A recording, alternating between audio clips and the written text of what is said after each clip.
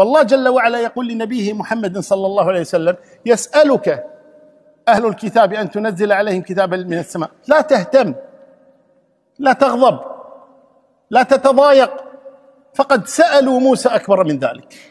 يعني الله تبارك يقول هؤلاء أهل عنت هؤلاء معاندون هؤلاء متكبرون على الحق.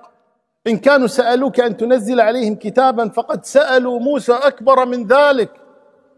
قالوا أرنا الله جهرة. وهذا فيه تسلية للنبي صلى الله عليه وسلم وتهوين له. صلوات ربي وسلامه عما يكابده من المشركين ومن أهل الكتاب ومن المنافقين.